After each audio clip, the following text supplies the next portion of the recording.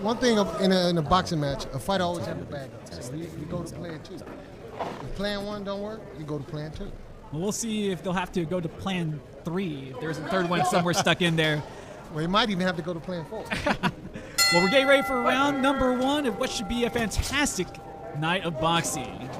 Nagy Aguilera in the white trunks and already has his opponent in Jamal Woods against the ropes and in the corner as Woods is dressed in the black and white trunks. And Aguilar, Aguilera, despite the long layoff, coming off very aggressive. Yes. Well, he has to because, like I said, he's, he want to work the rust off. And so far, so good. He's looking good. He's using his jab. You know, even though the, his opponent have a little height on him. He, you know, he haven't seen this in a while. It's been a, two years since he's seen a boxing glove in his face. And you talked about that ring rust. How much is it going to hold him back? But right now, Aguilera being the aggressor of the two, as Woods grabs a hold and get back to the center of the ring. Well, trust me, Aguilera knows a, a little bit experience about um, his opponent.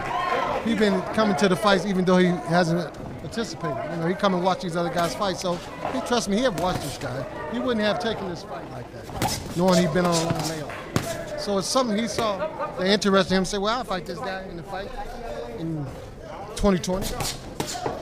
And after having that long three year layoff, you have to imagine that there had to have been something that he had seen on tape or live that he felt comfortable stepping into the ring going against Woods, who's already had two fights this year one majority draw and then a two round win against Willie Kiles. Well, he knows um, Woods don't come in in the best of shape.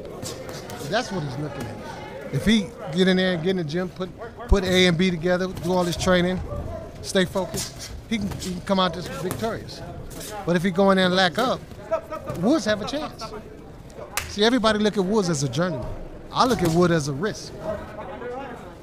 He does have that knockout power, but Aguilera just really putting on the pressure here in round one. Both of these fighters can get the knockouts in round one, as Nagy has been able to knock down opponents five times in round number one for Woods. He's had seven knockdowns in round one and caught him with that overhand right.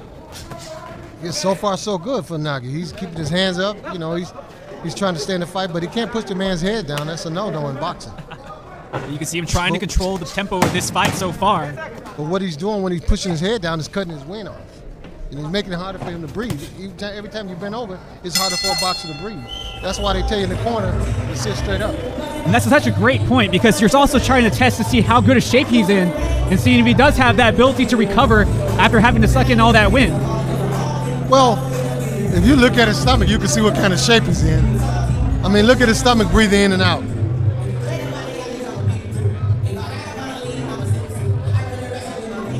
So after round number one, it looked like this fight belonged to Nagy Aguilera in round one. He had a what looked to have been a better go in this opening round than Jamal Woods.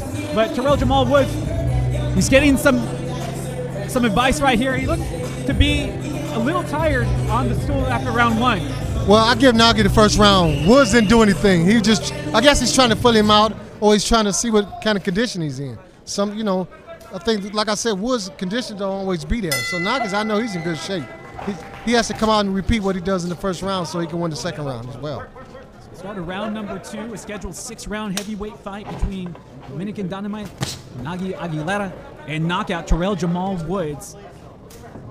Woods with the black gloves, Aguilera with the white gloves. Outstanding jab to sneak it in there. As you can see, Nagy is counterpunching. You know, so far so good for him. He looks sharp. You know, for him to be on a, such a long layoff like that, he's looking good. Now a little bickering with the uh, official Ivan Guzman, who is a referee for this fight. Nice crowd on hand here at the Arabia Shrine Center in Houston, Texas, in our opening matchup of the evening. And